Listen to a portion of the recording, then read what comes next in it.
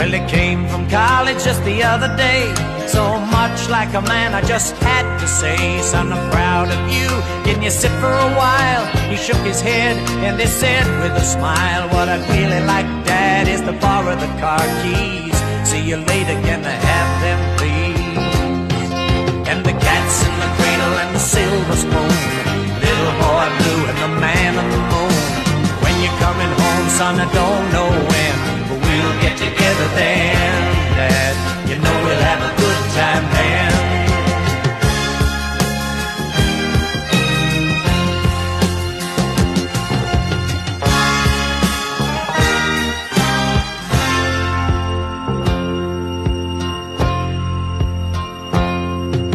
I've long since retired, my son's moved away. I called him up just the other day.